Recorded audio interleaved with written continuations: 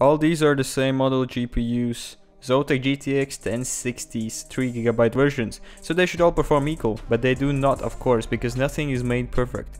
So which one runs the best and what are your chances of getting a worse or better GPU? I benchmarked these cards by mining cryptocurrency which really shows which ones stand out as being worse. And then I also did some gaming experiments to see if it also carries over to gaming.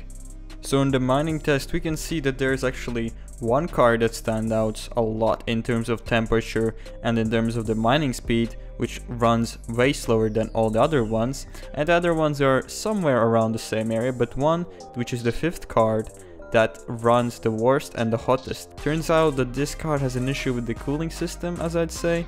The heatsink itself doesn't really get that hot but the PCB does so I would say that there's probably some issue with thermal application on there.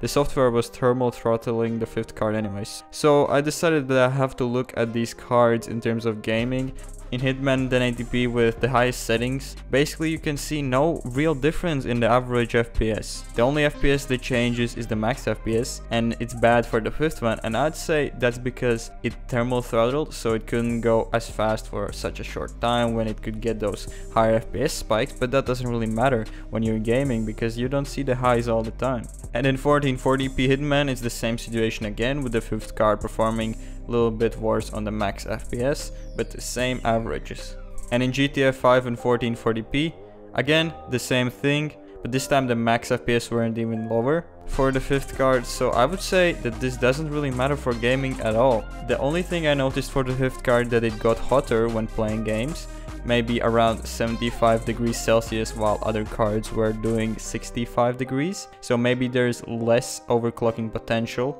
because I hadn't overclocked the card while running these games. The conclusion is that it doesn't matter unless you're going to mine with your GPU in 2018, which you shouldn't be doing, or you're going to be overclocking your card a lot. But obviously, when you overclock the card, you always want the best card possible. In this case, for Zotac, the chances of you getting a bad card is 1 in 6 out of a sample size of 6, so the chances could actually be way lower in reality. But if you're buying a brand like Zotac, which is known for not having the greatest cards ever, you're probably gonna get some of the worst chips and if you're buying something like Asus, you're probably gonna get more better chips. So yeah, don't worry about this if you're only gaming.